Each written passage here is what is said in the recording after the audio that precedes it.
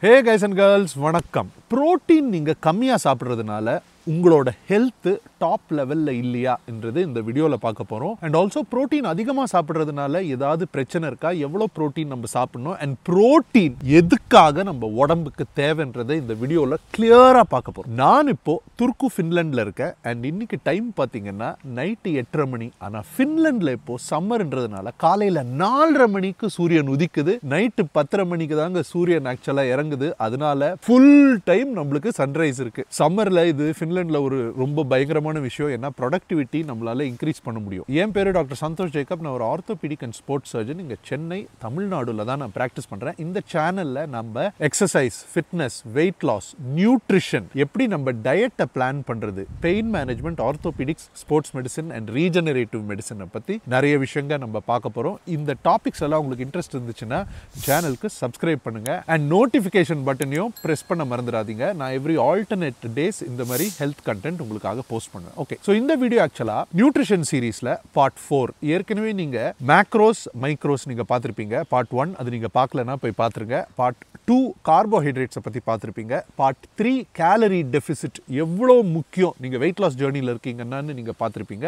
And இது part four protein பற்றி and part ஃபோரை நான் நாலு பகுதியாக டிவைட் பண்ண போகிறேன் ஏன்னா ப்ரோட்டீன் நம்மளுக்கு ரொம்ப முக்கியம். நான் ஒரு ப்ராக்டிசிங் ஆர்த்தோபெடிக் சர்ஜன்னா என்ன ரொம்ப காமனாக பார்க்குறேன்னா யார் யார் அவங்க டயட்டில் ப்ரோட்டீன் எடுக்க மாட்டேன்றாங்களோ அவங்களுக்கு மசில் மாஸோட லாஸும் டீஜெனரேட்டிவ் டிசீஸ் தேவமானம் என்ற நோய் ரொம்ப சீக்கிரமாக வருது. ஸோ எதனால ஆளுங்க ப்ரோட்டீன் சாப்பிட மாட்டேன்றாங்கன்னா நான் எல்லாருக்கிட்டையும் கேட்கும் போது ஒரு டீப் சீட்டட் உள்ள ஒரு ஃபியர் இருக்கு. ஐயோ ப்ரோட்டீன் சாப்பிட்டா பிரச்சனையா? நான்வெஜ் சாப்பிட்டா பிரச்சனையா? வயசு எனக்கு ஆயிடுச்சு அதனால இப்போ நான் ஃபுல்லாக வெஜ் தான் டாக்டர் சாப்பிட்றேன். இந்த மாதிரி என்கிட்ட சொல்கிறாங்க இது ஒரு ரொம்ப டேஞ்சரஸான பேட்டர்ன் எதனாலன்னு இந்த வீடியோவில் பார்ப்போம். இந்த வீடியோவை நீங்கள் பார்த்துட்டு புரோட்டீனோட இம்பார்ட்டன்ஸ் என்னன்னு உங்களுக்கு புரிஞ்சிச்சுன்னா கீழே கமெண்ட்ஸில் போய் எனக்கு ஒரு தம்ஸ் அப் போடுங்க. சரியா? ஆல்ரைட் ஸோ இப்போது ப்ரோட்டீன்ஸுக்கு என்னென்ன வேலைங்க இருக்குதுன்னு நான் ஏழாக பிரிக்க போகிறேன் இந்த ஏழுமே ரொம்ப முக்கியமான வேலைங்க. இந்த ஏழு வேலைங்களும் நடந்தால் தான் நம்மளோட டே டு டே லைஃபே நம்மளால் நடத்த முடியும். ஸோ நீங்கள் டெய்லி உங்கள் ப்ரோட்டீன் இன்டேக் எடுக்கலைன்னா நான் சொல்கிற இந்த ஃபங்க்ஷன்ஸ் எல்லாம் உங்கள் உடம்பு கம்மியாக பண்ணும். இது நிறைய வருஷத்துக்கு கம்மியாக பண்ணுச்சுன்னா ஆட்டோமேட்டிக்காக உங்களுக்கு இருக்க நோய்ங்க நோயிங்கெல்லாம் நோய்ங்கெல்லாம் அறுபது வருஷத்தில் வர வேண்டியதெல்லாம் நாற்பது வருஷத்தில் வந்துடும் ஏன்னா நீங்கள் கரெக்டாக ப்ரோட்டீன் இன்டேக் எடுக்கலைன்றதுனால. ஸோ ப்ரோட்டீன் இன்டேக்கும் எக்ஸசைஸும் நம்மளோட லைஃப்பை ஃபுல்லாக ஃபங்க்ஷனலாக வைக்கிறதுக்கு ரொம்ப முக்கியம். ஸோ வாங்க இப்போ நம்ம ப்ரோட்டீன்ஸோட இம்பார்ட்டண்ட்டான ஃபங்க்ஷன்ஸ் என்னன்னு பார்ப்போம். ஃபஸ்ட்டு நீங்கள் எப்போவாது நான் நல்லா தான் சாப்பிட்றேன் ஆனால் எனக்கு ஸ்ட்ரென்த் வரலன்னு நீங்கள் யோசிச்சிருக்கீங்களா? இந்த மாதிரி நீங்கள் யோசிச்சிருக்கீங்கன்னா ப்ரோட்டீன்ஸோட ஒரு மெயின் ஃபங்க்ஷன் வந்து அமினோ ஆசிட்ஸை சப்ளை பண்ணுறது ஸோ ப்ரோட்டீன்ஸுக்கும் அமினோ ஆசிட்ஸுக்கும் என்ன சம்பந்தம்? ப்ரோட்டீன்ஸ் வந்து சின்ன சின்ன அமினோ ஆசிட்ஸில் தான் ஃபார்ம் ஆயிருக்கு. இந்த அமினோ ஆசிட்ஸ் நம்ம உடம்புக்கு இருபத்தி ஓரு அமினோ அமினோ ஆசிட் நம்மளுக்கு தேவை. அதில் நம்ம உடம்பால ப்ரொடியூஸ் பண்ண முடியாத அமினோ ஆசிட்ஸ்னு சிலது இருக்கு. தட் இஸ் அதை நம்ம டயட்லேருந்து தான் எடுக்கணும். வேற வழியே இல்லை. இல்லைன்னா நம்மளுக்கு கிடைக்காது. இந்த அமினோ ஆசிட்ஸ் ஆக்சுவலாக ஒம்பது அமினோ ஆசிட்ஸ் இருக்கு. இதுங்க பேர் எசென்ஷியல் அமினோ ஆசிட்ஸ் அண்ட் மிச்ச அமினோ ஆசிட்ஸ் எல்லாம் செமி எசென்ஷியல் அப்படின்னா ரொம்ப ஸ்ட்ரெஸ்ல இருக்கோம்னா நம்மளே அதை ப்ரொடியூஸ் பண்ணிக்கலாம். அடுத்தது செமி எசென்ஷியல் அப்படின்னா நம்மளுக்கு தேவைப்படுதுன்னா நம்மளே வேற ரா மெட்டீரியலை வச்சு இந்த அமினோ ஆசிட்ஸை நம்ம ப்ரொடியூஸ் பண்ணிக்கலாம். அண்ட் மற்ற அமினோ ஆசிட்ஸ் எல்லாம் நான் எசென்ஷியல் எல்லாம் நம்மளுக்கு நம்ம உடம்பே ப்ரொடியூஸ் பண்ணிக்கும். அதனால நம்ம டயட்ல இருந்து எடுக்கணும்னு அவசியம் கிடையாது. ஸோ நீங்க ஓவராலாக பேசிக்ஸ் ஆஃப் ப்ரோட்டீன்ஸ்னு பார்த்தீங்கன்னா நம்ம உடம்புக்கு தேவையான டிஷ்யூஸை ஃபார்ம் பண்ற அளவுக்கு அமினோ ஆசிட்ஸ் ஏன்னா அமினோ ஆசிட்ஸ் இருந்தால் தான் நம்ம உடம்பு நம்மளுக்கு தேவையான டிஷ்யூஸை ஃபார்ம் பண்ணும். அதுக்கு புரோட்டீன் ரொம்ப முக்கியம். ஸோ நீங்க ரொம்ப வேலை செய்கிறீங்க நல்லா எக்ஸ்ட்ராவா நீங்க பிசிக்கல் ஆக்டிவிட்டி நீங்க பண்றீங்க நீங்க உங்க ஸ்ட்ரென்த்தை பில்ட் பண்றதுக்கு எக்ஸசைஸ் நீங்கள் பண்றீங்க. ஆனா உங்க டயட்ல ப்ரோட்டீன் கண்டென்ட் இல்லைன்னா உங்க உடம்பு வந்து ஸ்ட்ராங் ஆகிறதுக்கு என்னென்ன தேவையோ அந்த ரா ப்ராடக்ட்ஸ் அதுக்கு இல்லை. ஸோ நீங்கள் ஸ்ட்ரென்த் ட்ரைனிங் பண்ணாலும் இல்லை எக்ஸசைஸ் நீங்கள் பண்ணாலும் உங்க உடம்பு ரிக்கவர் ஆகி இன்னும் ஸ்ட்ராங் ஆகணும்ல அடாப்ட் ஆகி. அதுக்கு அமினோ ஆசிட்ஸ் ரொம்ப முக்கியம். ஸோ புரோட்டீன்ஸ் நீங்கள் சாப்பிட்டீங்கன்னா தான் உங்கள் ரத்தத்தில் அமினோ ஆசிட்ஸ் இருக்கும். ஸோ புரோட்டீன்ஸோட ஒரு மெயின் வேலை என்னன்னா நம்ம உடம்புக்கு ஸ்ட்ராங் ஆகிறதுக்கு தேவையான ரா மெட்டீரியல் மெட்டீரியல்ஸ் என்னென்னவோ அந்த ரா மெட்டீரியல்ஸை நம்ம ரத்த சர்க்குலேஷனில் வைக்கிறது. ஸோ இதனால தான் நம்ம ப்ரோட்டீன்ஸ் ரெகுலராக எடுக்கணும். இதுதான் point one amino acid supply ரெண்டாவது பார்த்தீங்கன்னா ப்ரோட்டீன் சிந்தசிஸ் இந்த ப்ரோட்டீன் சிந்தசிஸை நம்ம நிறைய வகையாக டிவைட் பண்ணலாம். ஏன்னா ஹியூமன் பாடியில் நிறைய டிஷ்யூஸ் இருக்கு இல்லையா? முடி இருக்கு தோல் இருக்கு கண் இருக்கு ஆர்கன்ஸ் இருக்கு பல் இருக்கு அதுக்கப்புறம் நம்ம மசில்ஸ் இருக்கு நம்ம போன்ஸ் இருக்கு. இது எல்லாமே ப்ரொடியூஸ் பண்றதுக்கு டிஷ்யூ புரோட்டீன் சிந்தசிஸ்னு ஒரு விஷயம் நடக்கணும்.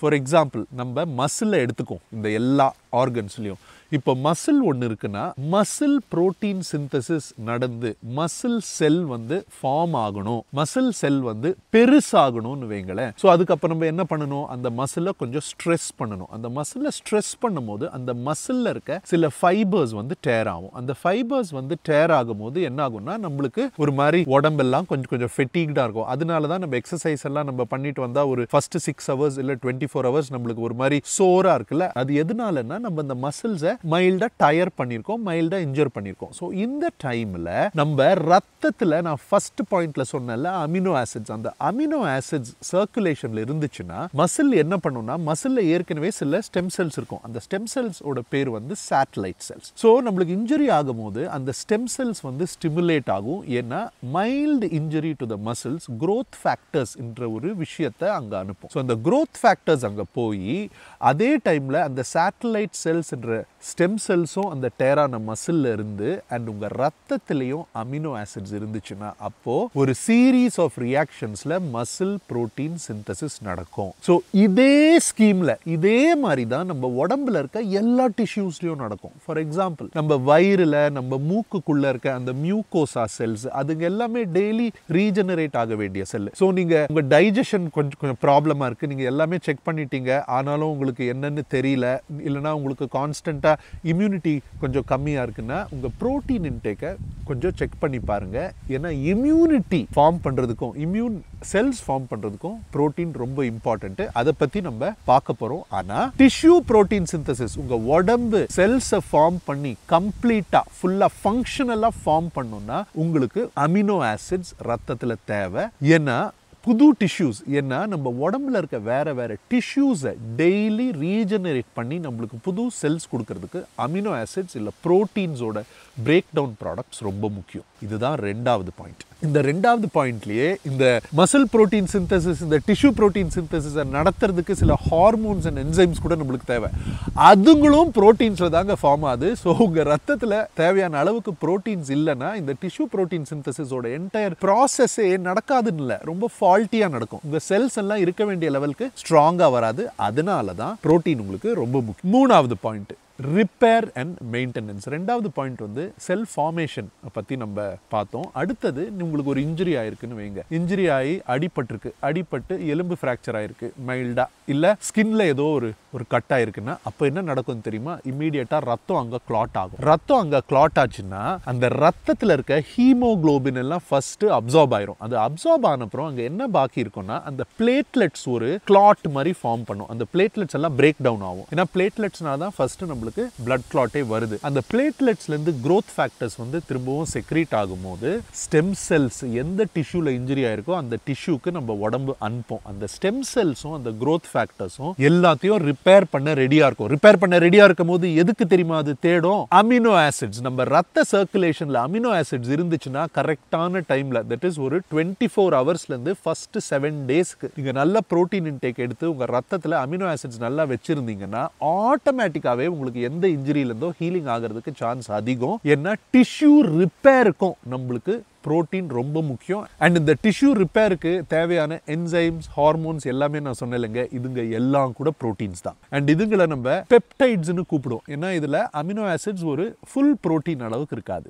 நாலாவது விஷயம் க்ரோத் அண்ட் டெவலப்மெண்ட் பீரியடில் இது நான் சொல்கிறது குழந்தைங்களுக்கு அடாலசன்ஸ்க்கு அண்ட் டீனேஜர்ஸ்க்கு இந்த டைமில் எப்போ நம்ம உடம்பு புது செல்ஸ் ஃபார்ம் பண்ணிட்டு இருக்கோம் அந்த புது செல்ஸ் ஃபார்ம் பண்ணுறதுக்கும் நம்மளுக்கு நிறைய புரோட்டீன்ஸ் தேவை. ஆக்சுவலாக குழந்தைங்களுக்கு அடல்ட்ஸ் விட டெய்லி ரிக்குவயர்மெண்ட் என்னன்னு நீங்கள் பார்த்தீங்கன்னா அதிகம். இந்த எண்ட் ஆஃப் த வீடியோவில் ஒரு ஒரு ஏஜ் குரூப்புக்கும் என்னென்ன ரிக்வயர்மெண்ட்டுன்னு நான் சொல்ல போகிறேன் அதனால வீடியோவை எண்டு வரைக்கும் பாருங்கள் அண்ட் டெவலப்மெண்ட் டைமில் நான் சொன்ன அந்த என்சைம்ஸ் ஹார்மோன்ஸ் எல்லாமே இன்னும் முக்கியங்க. ஸோ டெஃபினட்டாக ப்ரோட்டீன் இன்டேக் அவங்களுக்கு எவ்வளோ ரெக்கமெண்ட் பண்ணியிருக்கோமோ அட்லீஸ்ட் அதாவது கொடுக்கணும். அண்ட் குழந்தைங்க நிறைய ஸ்போர்ட்ஸ் எல்லாம் விளாடுறாங்கன்னா அவங்களோட ப்ரோட்டீன் ரிக்குயர்மெண்ட் அதிகமாக இருக்கும். ஒரு நியூட்ரிஷனிஸ்ட் இல்லை ஒரு டாக்டரை பார்த்து உங்களோட ரெக்கமெண்டேஷன்ஸ் என்னன்னு கேட்டுக்கோங்க. இந்த பாயிண்ட்ல நான் கொலாஜனை பற்றி பேசணும். ஸோ கொலாஜன் சப்ளிமெண்ட்ஸ் யாருக்கு தெரியுமாங்க? ஆக்சுவலாக ரொம்ப யூஸ்ஃபுல்லாக இருக்கும். வெஜிடேரியன்ஸுக்கு ஏன்னா வெஜிடபிள்ஸில் இருக்க கொலாஜனை நம்ம உடம்பால் அப்சார்ப் ஆக்சுவலாக பண்ண முடியாது. அந்த கெப்பாசிட்டி நம்மளுக்கு இல்லை. நீங்கள் ஒரு நான் வெஜிடேரியன்னா நீங்கள் அந்த ஆட்டுக்கால் சூப்போ இல்லை சிக்கன் சூப்போ இல்லைன்னா எலும்பு சூப்பு நிறைய அந்த டெண்டன்ஸு எல்லாம் போட்டு நீங்கள் செஞ்சீங்கன்னா அதுலேயே உங்களுக்கு நல்ல அப்சார்பபிளான கொலாஜன் வந்துடும் அண்ட் இது உங்களால் பண்ண முடியலன்னா நீங்கள் கொலாஜன் சப்ளிமெண்ட்ஸ் எடுத்துக்கலாம். நீங்கள் கொலாஜன் சப்ளிமெண்ட்ஸ் எடுத்துட்டீங்கன்னா உங்களுக்கு உடம்புக்கு தேவையான புரோட்டீன் ரிக்குவயர்மெண்ட் எல்லாம் வந்துடுதுன்னு கிடையாது. புரோட்டீன் ரிக்குவயர்மெண்ட் வேறு கொலாஜன் ரிக்குவயர்மெண்ட் வேறு.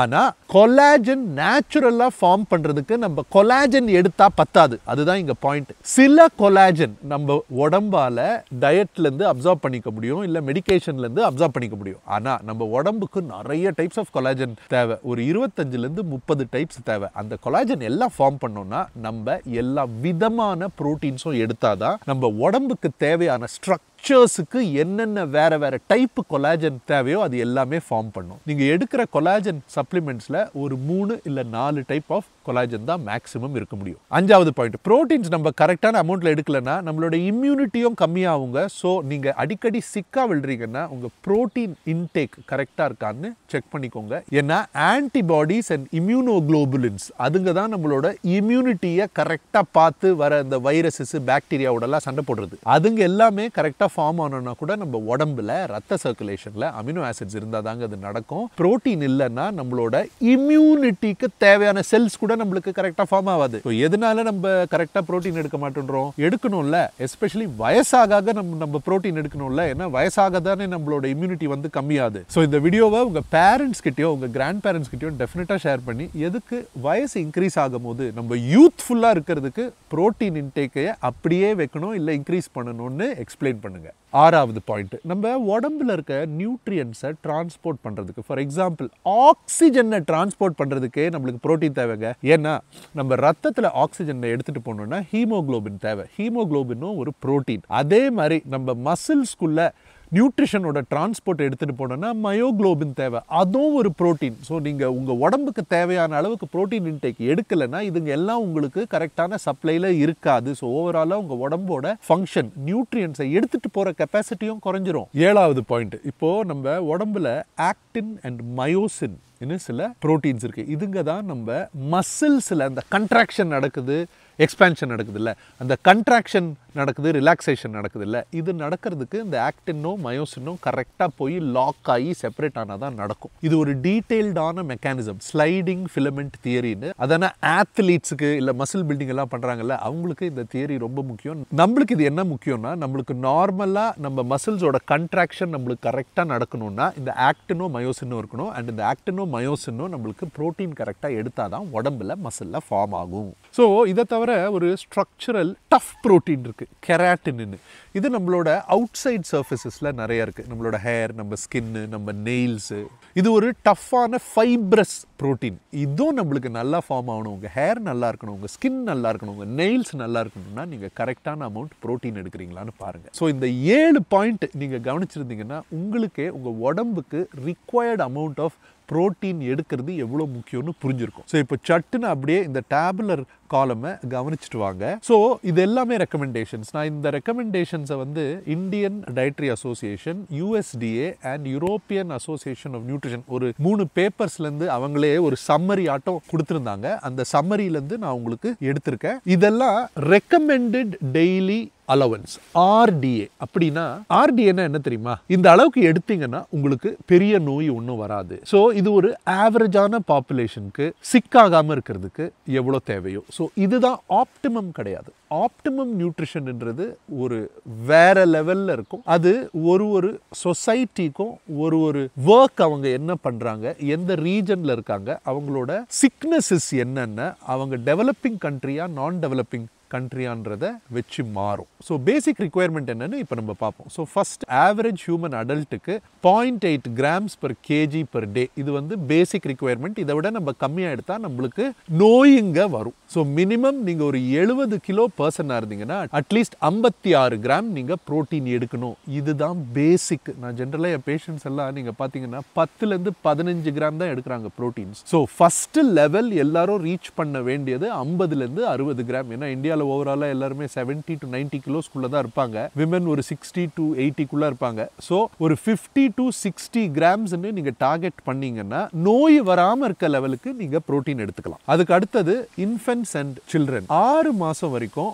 one point five grams per KG body weight ஏழுலேருந்து பன்னெண்டு மாதம் வரைக்கும் one point two grams per KG body weight ஒரு மாசத்துலேருந்து மூணு வருஷம் வரைக்கும் one point zero five grams per KG body weight நாலு வருஷத்துலேருந்து எட்டு வருஷம் வரைக்கும் one gram per KG body weight nine to thirteen years one gram per KG body weight per day அதுக்கப்புறம் அடாலசன்ஸ் பாய்ஸ் வந்து ஃபோர்டீன் டு எயிட்டீன் இயர்ஸ் வந்து point eight five grams per KG per day கேர்ள்ஸுக்கும் அதே தான் point eight five grams ஒரு விஷயம் புரிஞ்சுக்கோங்க. இது எல்லாமே பேசிக் ரிக்குயர்மெண்ட் இது சாப்பிட்டா போதும்னு இல்லை. இதை விட கம்மியாக சாப்பிடக்கூடாது. உங்களுக்கு பீக் பர்ஃபார்மன்ஸ் வேணும்னா இதை விட அதிகமாக நீங்கள் சாப்பிடணும். நீங்கள் எக்ஸசைஸ் எல்லாம் பண்ணுறீங்கன்னா இதை விட அதிகமாக சாப்பிடணும். இது daily recommended allowance older adults வயசானவங்களுக்கு பார்த்தீங்கன்னா sixty five years and older daily ரெக்கமெண்டேஷனே point one to point two grams per KG body weight இதை நல்லா ஞாபகம் வச்சுக்கோங்க. வயசு உங்களுக்கு ஆக ஆக உங்களுக்கு நோய் எல்லாம் வராமல் இருக்கணும். நீங்கள் சிக்கா விழாமல் இருக்கணும்னா நீங்கள் ப்ரோட்டீன் இன்டேக்கை இன்க்ரீஸ் பண்ணணும். அது ரொம்ப முக்கியம். ப்ரோட்டீன் இன்டேக்கை கம்மி பண்ணுறதுல உங்களுக்கு ஒரு அட்வான்டேஜும் இல்லை. எந்த ப்ரோட்டீன் உங்களுக்கு ரொம்ப பிடிக்குதோ நான்வெஜ் உங்களுக்கு சாப்பிட பிடிக்கலனா அதில் ஏதாவது பிடிக்கும்ல உங்களுக்கு. அதை நீங்கள் சாப்பிடுங்க. அண்ட் உங்க உங்களுக்கு ஹோல் ஃபுட்ஸ்லேருந்து ப்ரோட்டீன் எடுக்க முடியலன்னா தயவு செஞ்சு நீங்கள் வே ப்ரோட்டீன் நீங்கள் ட்ரை பண்ணலாம். ஏன்னா ப்ரோட்டீன் ஏஜ் ஆகும்போது ரொம்ப முக்கியம். அது இல்லாமல் உங்களால் நோய் வராமல் ஏஜ் ஆகிறது ரொம்ப கஷ்டமாக இருக்கும். அப்புறம் ஸ்பெஷல் கன்சிடரேஷன்ஸ் ஆத்லீட்ஸ் நீங்கள் ஒரு என்டியூரன்ஸ் ஆத்லீட்டாக இருக்கீங்க. இல்லை மேரத்தான் இல்லை ரன்னிங் பண்ணுறீங்கன்னா one point two grams to one point eight grams per KG body weight நீங்கள் ஸ்ட்ரென்த் இல்லை power ஆத்லீட்னா one point six to two grams per KG body weight per day நீங்கள் ப்ரெக்னெண்ட்டாக இருக்கீங்கன்னா இங்கே என்ன போட்டிருக்காங்கன்னா நார்மல் அடல்ட்டை விட டுவெண்ட்டி ஃபைவ் கிராம்ஸ் எக்ஸ்ட்ராவாக நீங்கள் எடுத்துக்கணும். அதே லாக்டேஷனில் per day per KG per டேயில் இது வந்து பர் டே ஸோ நீங்கள் ஸோ நீங்கள் ப்ரெக்னென்ட் இல்லை லாக்டேட்டிங்காக இருக்கீங்கன்னா ஒரு அடல்ட்டுக்கு எவ்வளோ ப்ரோட்டீன் ஒரு நாளைக்கு தேவையோ அதோடு சேர்ந்து இருபத்தஞ்சு கிராம் எக்ஸ்ட்ராவாக எடுத்துக்கோங்க. இங்கே வெயிட் லாஸ் இல்லை மசில் கெயினில் இருக்க ஒரு பர்சன்னா one point two grams to two grams one point two கிராம்ஸ்லேருந்து ரெண்டு gram per KG body weight நீங்கள் எடுத்துக்கலாம். ஸோ எல்லாருக்கும் இப்போ என்ன கேள்வி இருக்குன்னா டாக்டர் நம்ம வே ப்ரோட்டீன் எடுக்கலாமா? வே ப்ரோட்டீன் டெஃபினட்டாக எடுக்கலாம். ஆனால் என்ன டாக்டர் நீங்கள் தான் சொல்லியிருக்கீங்க இந்த வே ப்ரோட்டீன் எடுக்கக்கூடாது அந்த வே ப்ரோட்டீன் எடுக்கக்கூடாதுன்னு. ஏங்க கறி மீன் கூட சில கடையில் நீங்கள் வாங்கக்கூடாதுன்னு உங்களுக்கு தெரியும். ஆனால் வே ப்ரோட்டீனில் என்ன பிரச்சனை தெரியுமா? எந்த கடையில் வாங்கக்கூடாதுன்னு நம்மளுக்கு தெரியாது. ஸோ அதனால் ஒரு ஜென்ரல் ரெக்கமெண்டேஷன் இந்த மாதிரி கொடுத்தா நீங்கள் எல்லாம் கேர்ஃபுல்லாக இருப்பீங்கன்றதுனால தான் ஐசிஎம்ஆர் கொடுக்குது இந்த ரெக்கமெண்டேஷன்ஸை ஆனால் நீங்கள் ஹியூமன் பீயிங்ஸாக ப்ரோட்டீனோட வேல்யூ என்னன்னு தெரிஞ்சுட்டு ரிசர்ச்சில் என்னென்ன ப்ரோட்டீன் பிராண்ட்ஸ்லேருந்து நீங்கள் வாங்கலாம்னு ஏற்கனவே நான் ஒரு வீடியோ போட்டிருக்கேன். அந்த மாதிரி ரிசர்ச் பண்ணி எந்த பிராண்ட்ஸுக்கு நல்ல ரெக்கமெண்டேஷன் இருக்கோ எந்த பிராண்ட்ஸுக்கு நல்ல ரிவ்யூஸ் இருக்கோ ரிசர்ச் பேப்பர்ஸில் எது எது நல்ல பிராண்ட்ஸு வாங்கலாம்னு சொல்லியிருக்காங்களோ அந்த பிராண்ட்ஸ் நீங்கள் சர்ச் பண்ணி வாங்குறது ஒரு நல்ல ஆப்ஷன் ரெண்டாவது வே ப்ரோட்டீன் வந்து நார்மல் ப்ரோட்டீனை விட பெட்டரானா லேப் படி பார்த்தா வே ப்ரோட்டீன் நார்மல் ப்ரோட்டீனை விட பெட்டர் ஆனால் ஹியூமன் கன்சம்ஷனுக்கு என்னோட சாய்ஸ் என்னன்னா நம்ம ஹோல் ப்ரோட்டீன்ஸ் எடுக்கிறது பெட்டர் ஏன்னா டைஜஷனுக்கும் நம்மளை தானே நம்ம ட்ரெயின் பண்ணிக்கணும். நம்ம ஹோல் ஃபுட் சோர்சஸ்லேருந்து எப்போ புரோட்டீனை நம்ம எக்ஸ்ட்ராக்ட் பண்ணி ரத்தத்துக்கு அனுப்புகிறோமோ அப்போ நம்மளோட ஃபுல் டைஜஸ்டிவ் சிஸ்டமுமே வேலை செய்யுது. பட் அதே வே புரோட்டீன் ஐசோலேட்டோ இல்லை வே புரோட்டீன் ஹைட்ரோ நீங்கள் எடுத்தீங்கன்னா டைஜஷனோட ப்ரோசஸ் கொஞ்சம் கம்மி அது ஈஸியாக நம்மளுக்கு அப்சார்ப் ஆயிரும். ஸோ ஃபர்ஸ்ட் சாய்ஸ் வந்து எப்போவுமே ஹோல் ஃபுட்ஸ் ஹோல் ஃபுட்ஸ்லேருந்து உங்களால் ப்ரோட்டீன் எடுக்க முடியலன்னா ப்ரோட்டீன் எடுக்கிறது டெய்லி ரொம்ப இம்பார்ட்டன்ட் அதனால நீங்கள் வே ப்ரோட்டீன் இல்லை வேற பவுடர் ப்ரோட்டீன் சோர்சஸ்லேருந்து உங்களோட டெய்லி ரிக்குவயர்மெண்ட்டை நீங்கள் எடுத்துக்கலாம். ஓகே கைஸ் ஸோ இந்த வீடியோ இதோட முடிஞ்சிச்சு. அடுத்த வீடியோவில் நம்ம அனிமல் ப்ரோட்டீனுக்கும் பிளான்ட் ப்ரோட்டீனுக்கும் என்ன டிஃப்ரென்சஸ்ன்றது கிளியராக பார்க்க போகிறோம் அதுதான் நியூட்ரிஷன் சீரிஸ் ஃபோரோட பார்ட் பி ப்ரோட்டீன் சீரீஸில் வரப்போகுது. அண்ட் உங்களுக்கு இந்த வீடியோவில் ஏதாவது டவுட் இருந்துச்சுன்னா உங்கள் கொஸ்டின்ஸை கீழே கமெண்ட்ஸில் போடுங்க. நான் அதை படிச்சுட்டு அதை ஒரு வீடியோவில் ஆன்சராக நான் கொடுப்பேன் இல்லைனா உங்கள் கமெண்ட்ஸுக்கு ரிப்ளை பண்ணுவேன். Okay guys see you bye from Finland நாளைக்கு ஒரு புது வீடியோவோட உங்களை மீட் பண்ணுறேன் பாய்